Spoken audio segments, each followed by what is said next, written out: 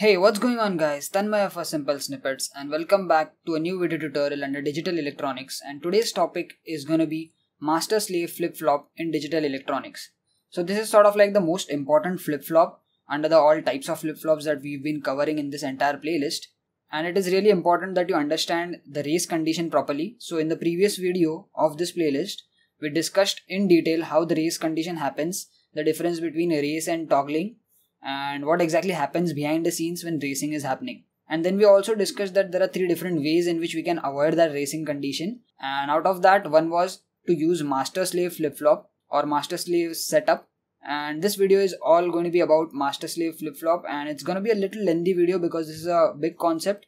And we'll be covering everything starting from the circuit diagram to the truth table, and then also see how the toggling happens with the use of graph and those signal diagrams okay? So with that being said let's start off with today's topic and i hope you already have a good idea about jk flip-flop and racing condition. If not you can check out the videos in this playlist. Okay so as you can see on the screen we have one jk flip-flop over here right? So this is that circuit. Now how do we make a master slave flip-flop using this jk flip-flop? So as you can see from the title it's a master slave jk flip-flop okay? So we are going to be making a master slave setup using jk flip-flop so the first step is to first eliminate these feedback lines uh, from the first JK flip-flop. So there are going to be two flip-flops that is two JK flip-flops being used in this assembly and as the name suggests one is going to be the master flip-flop and the next one is going to be the slave flip-flop. So let's first remove these pink lines which are the feedback lines of the first JK flip-flop. Okay so we've removed those feedback lines. Now the next step is to add one more JK flip-flop which is going to be acting as a slave flip-flop. So let's add that. Okay, so as you can see on the screen, we have added one more flip-flop which is also a JK flip-flop and this one is the slave flip-flop.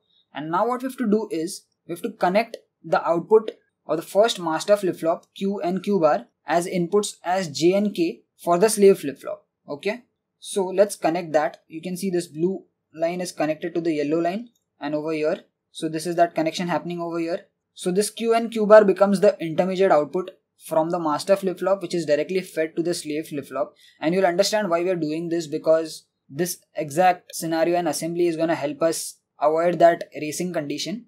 So okay this is step number one. Now step number two is to add the feedback again. So we removed the feedback of the first master flip-flop right? So it has to have some feedback.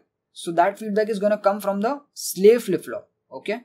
So let's add those pink lines again. So q is going to be connected to K of the master flip-flop and Q bar is going to be connected to J of the master flip-flop. So now the feedback loop is connected and the only thing now remaining is the clock. So for master flip-flop you can see that there is clock available over here but we have a clock input for the slave flip-flop also. So here's where the catch is. So the master gets clock directly however the slave gets an inverted clock. So what's an inverted clock? So the slave will get the clock input from the same clock which is CLK over here but it will get it in an inverted way which means that it is going to be passing through a NOT gate. Okay so I hope you are getting this. So this is a NOT gate over here. So what happens is if this master flip-flop is going to get 1 it will pass through this NOT gate and it will become 0 so this clock will be 0 and conversely if this is 0 then this is going to be 1 so this is that catch over here. And this is done for a specific reason and we'll understand that from the truth table and then we'll also see the timeline chart of the signals so that it will be more clear how it is used to avoid that racing condition. But yeah, this is the complete structure of the master slave flip flop. This is that circuit diagram. Now we've completed it. So let's move on to the next part that is the truth table. Okay, so as you can see on the screen, here's a huge truth table, but don't worry, it's going to be very easy. Now there are 16 different sub cases for which we are going to be calculating the intermediate output that is QM and Q bar M. So this QM and Q bar M are the intermediate output which are coming from the first master flip-flop. That's why it's in orange. You can see that. That's what we're going to be tracking over here because that is needed to calculate the next state because they are going to be providing the input to the slave flip-flop which we will be using to calculate the next state which is qn plus 1 and q bar n plus 1. Okay. Now why are there 16 different combinations? Basically there are 4 different cases. So this is case number 1, this is case number 2, this is case number 3 and this is case number 4 and these four cases are corresponding to the variating inputs. Okay so we have jk as 0 for the first four cases. Then we have 0 1 we have 1 0 and 1 1 But the reason why we have four different cases in each of those single cases is because we are assuming 0 1 as the previous state or the current state one time and we are assuming so this is the assumptions that we have to make right? We have to assume the current state because we don't know what exactly the current state is and the current state is then provided as a feedback to calculate the next state. And again we are assuming 0 1 0 and 2 times because the clock is also changing two times. That is there are two different clock signals. One is going for the master flip-flop and one is going for the slave flip-flop. So that is the reason why there are four different sub cases so this is going to be very quick and easy. Don't worry that there are so many different cases and the output is going to be different. It's going to be very much the same in all the cases. So you'll see that in a minute so before we actually start off let's understand this clock signals. So as i mentioned the clock is inverted for the slave right? So it goes through a not gate which is over here. So if clock of master is 1 clock of slave is 0. Now this circuit that we've considered is a level triggered circuit okay? And it is a positive level triggered circuit which means that whenever the clock is positive which is 1 one of the flip flop is going to be active and the other one is going to be inactive and by inactive I mean it is going to be in the latch state. So we've seen in the flip flop of JK flip flop that if the clock is going to be 0 or if it is low then it acts as a latch right? So same is the case over here. So for master, if it is 1, clock is 0, which means that the slave flip-flop, this flip-flop is gonna be in the latch state, right? So the Qn plus 1 and Q bar n plus 1 which is gonna be coming out from the slave flip-flop is gonna be exactly equal to the previous state, right? Which is latch state. So if you see the first case, if clock of slave is 0, Qn plus 1 and Q bar n plus 1 is gonna be in the latch state. So these two values are gonna be in the latch state, right? So similarly, whenever the clock is 0 for slave, it is going to be in the latch state and whenever the value of clock of master is 0, the master is going to be in the latch state. Right? So without even thinking about anything, we can directly fill out some of these blanks with latch state. So let me just fill that out. Okay, so there you go. You can see that whenever the clock of the respective flip-flop is 0, the output is going to be in the latch state and latch state which means the previous state. So for this latch state, it means that the previous state. So qn and q bar n are the previous values which are 0 and 1 and if it is latched it again means it is 0 and 1 okay? Latched is also known as previous state or memory state. Okay so most of the values we've already got filled out. Now let's start off with the truth table. I'll take the first case. Let's say a clock of m that is clock of master is 1 which means our master is active let's consider this 1 j and k we are considering 0 and the previous case we are considering qn as 0 and q bar of n as 0. So this we are considering to be 0 and q bar of n is as 1. The reason why we are considering these values is because of these pink lines which go as a feedback to the very first master flip-flop which you can see over here. So that's why we are making assumptions that the previous state must have been 0 and 1. So these values go, so q goes to the lower NAND gate over here so this becomes 0 and this 1 goes to the upper NAND gate which becomes 1. So now you can see the output of the first two NAND gates of the master flip-flop. Since there is 0 and 0 over here, the output is going to be 1 and 1. So the output of these two NAND gates, that is the second level of NAND gates in the first master flip-flop, is to be determined based on the second input, right? Because if one value to the NAND gate is 1, the output is dependent on the next value. So if it is 0 over here, the output is going to be 1. And if it is going to be 1 over here, the output is going to be 0. Which means that we need to know the values of Q and Q bar M right? Because these are fed back over here. So in a JK flip-flop, remember when the input was 0 and 1, the output also was 0 and 1, right? So that was that reset state because Q bar was 1 and Q was 0. So that is why we are assuming Q and Q bar M as 0 and 1. So if we assume 0 and 1 over here, this 0 is going to be fed back over here. So 0 and 1 is to be 1 and this 1 is going to be fed back over here and then we get 0. So QM and Q bar M are assumed as 0 and 1 and then qn plus 1 and q bar n plus 1 is also to be 0 and 1 because it is in the latch state. So this was the first case and you can see that we've assumed qm and q bar m as 0 and 1 because that's what the input would be if you are getting or if you are assuming q and q bar over here as 0 and 1 right. So let's see case number 2 what happens over here. So for case number 2 clock of m is 0 which means that master is going to be in the latch state so we don't have to calculate qm and q bar of m because it is in the latch state which is 0 and 1 right? That is the previous state. So directly we can assume q as 0 q bar as 1 and now the clock of slave is going to be 1 right? So that's over here. So now let's calculate the values. So for the lower NAND gate it is 1 and 1 which means the output is going to be 0. For the upper NAND gate it is 0 and 1 which means the output is going to be 1. Lower NAND gate one input is 0 the output is going to be 1. That's how NAND gates work. This one is supplied over here 1 and 1 output is going to be 0.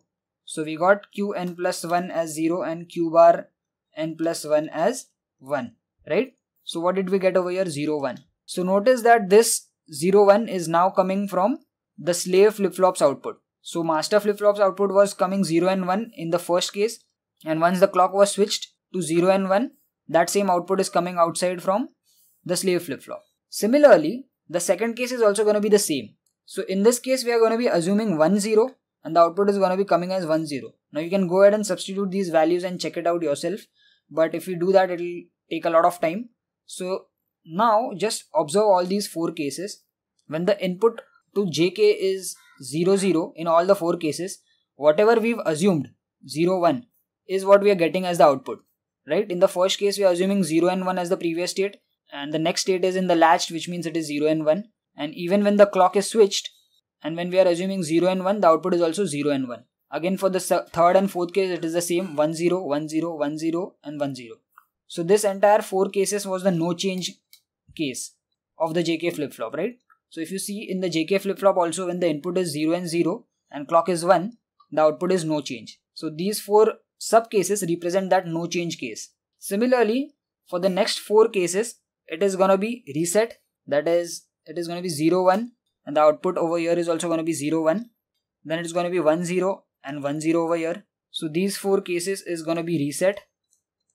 And during reset, J is 0 but k is 1 okay for the next 4 it is going to be set wherein j is 1 but k is 0 so again 0 1 is going to be transferred over here 0 1 if we assume 1 0 that 1 0 is going to come out over here. And now lastly this fourth state is what is most important. So we are going to be taking a look at this state in deep. And i did not cover reset and set because it is just as the first one. Whatever output is coming at the intermediate level is being just transferred. But over here these four are the toggle cases which happens in master slave JK flip flop. So that's what we are going to be taking a look at in proper detail because here J and K is 1 and 1 and the previous is or the current state what we are assuming is 0 and 1. However, at the output over here we are going to get 1 0 which means that it is going to get toggled. So let's see how that works. Okay, so let's take a look at the first case. So here clock is 1, right? Clock of master is 1, clock of slave is 0 which means that slave is going to be in the latch state. J and K are both 1 and 1, right? and we are assuming previous state as 0 and 1 so we are assuming q as 0 and q bar as 1 so let's transfer this q0 to the lower NAND gate over here because it is as coming as a feedback and this 1 goes over here so three of them are 1 which means the output is gonna be 0 and one of them is 0 at the lower NAND gate which means the output is gonna be 1 now again for this NAND gate one of the input is 0 which means the output is gonna be 1 and this 1 is now transferred over here so 1 and 1 output is going to be 0. So what did we get as intermediate values? Just take a note of them. Q is 1 and Q bar as 0. So initially what we assumed is 0 and 1 but the intermediate Q and Q bar is coming as 1 and 0. So let me just write down 1 and 0 over here. Now when we move from first to second case, here the clock is just changed, everything else is the same. So now master is going to be in the latch state. So we are not calculating anything for the master, we are calculating everything for the slave now. So only one change that is the clock of the slave is going to be 1 and clock of the master is going to be 0. So now let's calculate with these values that we've got in the intermediate state. So Q is 1 and clock is 1 which means the output is going to be 0 over here. And for the lower NAND gate, one of them is 0 so the output is going to be 1. For the upper NAND gate of the slave flip flop, one of the input is 0, output is going to be 1. So we got Qn plus 1 as 1 and this 1 is transferred back over here. So 1 and 1 the output is going to be 0. So we got 1 and 0. So now notice that initially we assumed 0 1 as the previous state but the next state that we are getting is 1 0 which means that we are getting a toggling kind of situation right. Similarly for the last two cases also if we assume 1 0 the intermediate values which we will get is 0 1 and the next state is also going to be 0 1. So you can put these values in the circuit if you have and check it out.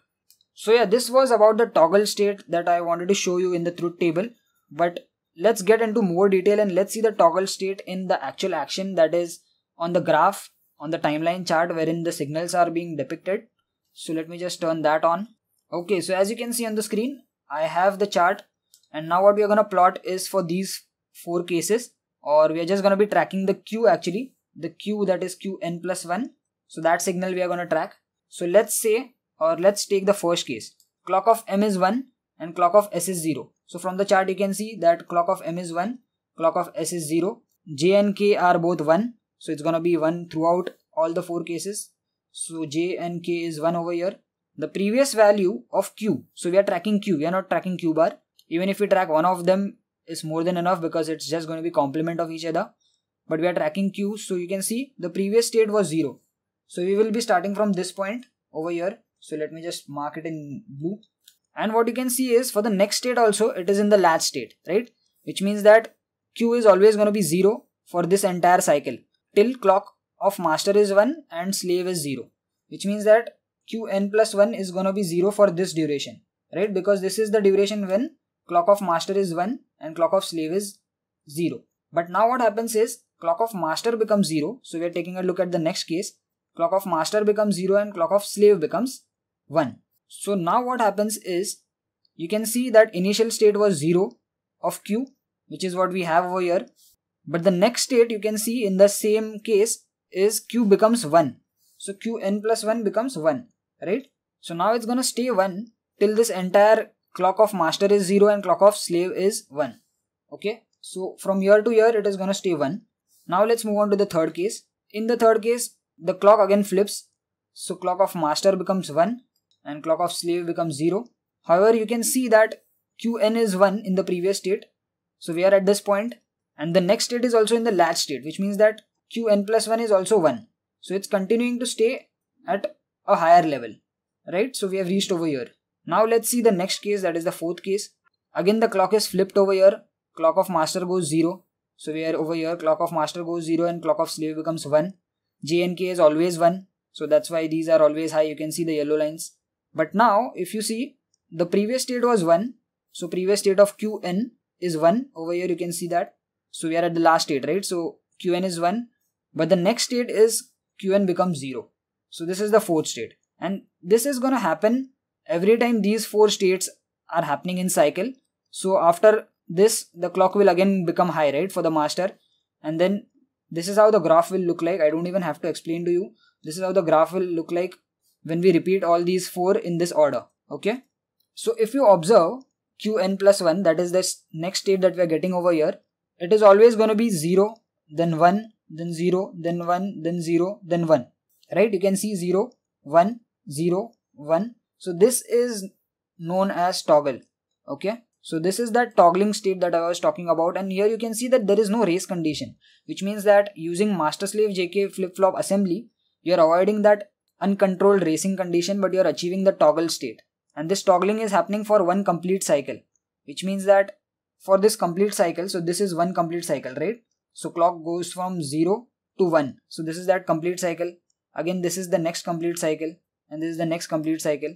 Or if we start from over here then this is one cycle this is another cycle and the length of qn being in one state is also the same right? So that's why i'm saying that the output stays high for one complete cycle then goes low for the next complete cycle. So it is controlled and that's why it is known as toggle state so yeah, that's it for this video guys. I hope you understood the complete concept of master slave JK flip-flop assembly wherein there are two JK flip-flops connected in this fashion which you can see on the screen. And then we also saw the truth table and we discussed the last case in detail because that is the case where the actual toggling was happening and the previous three cases are similar to the JK flip-flop. But in the last case we saw that the race condition was avoided and we got a proper controlled toggling state by looking at the timeline chart. So that's it for this video guys. I hope you understood this concept. If you like this video, please give it a thumbs up and let me know in the comments that you like this. If you have any doubts, you can always put them in the comment section. So hope you enjoyed this. I'll talk to you guys in the next video tutorial. Peace.